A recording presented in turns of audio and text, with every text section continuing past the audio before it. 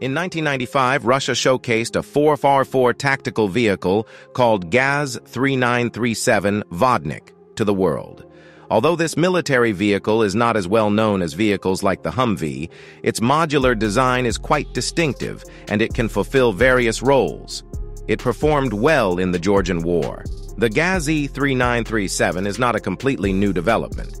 It is derived from another Russian civilian vehicle called the Gaz E2330 4X4 all-terrain vehicle. Its purpose is to fill the gap between conventional military jeeps and trucks, especially in adapting to the 40 low-temperature weather conditions in Russia.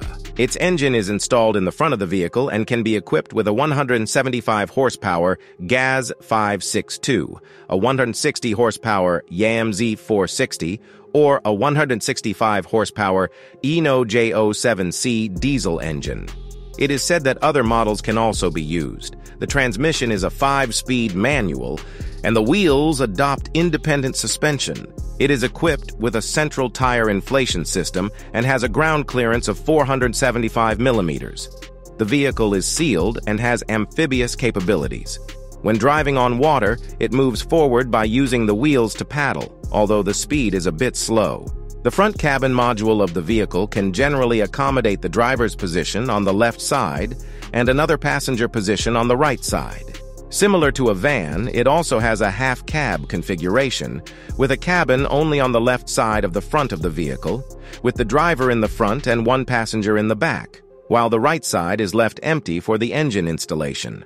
The front cabin and the rear passenger cabin of the vehicle are separated, which is considered a design failure. However, this facilitates the replacement of the rear cabin module. It is said that Russia has developed more than 20 different modules, such as a troop transport module that can carry 10 soldiers or other cargo, and a combat module with a 120mm heavy mortar, etc.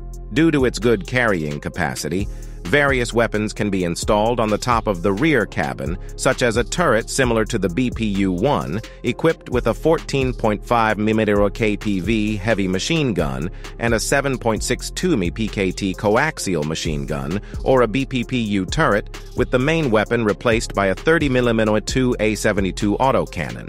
In addition, some photos also show a version equipped with portable anti-aircraft missiles, which can be used as a mobile air defense weapon. The Gaz 3937 has weak armor protection and can only withstand attacks from small caliber ammunition and artillery shell fragments. The specific armor thickness is unknown, but it is generally believed that it can be penetrated by 12.7mm ammunition. Russia only began mass production of the Gaz 3937 in 2000. It is equipped by the Russian armed forces, and Uruguay has also ordered 48 vehicles. This vehicle has been used in the Georgian War and reportedly appeared in Syria a few years ago. The Ghazi 3937 weighs between 6.6 to 7.5 tons with a length of 5.38 meters and a width of 2.6 meters. It has a payload capacity of 1.5 to 2.5 tons, a maximum road speed of 112 kilometers per hour, a maximum water speed of 4 to 5 kilometers per hour, and a maximum range of 1,000 kilometers.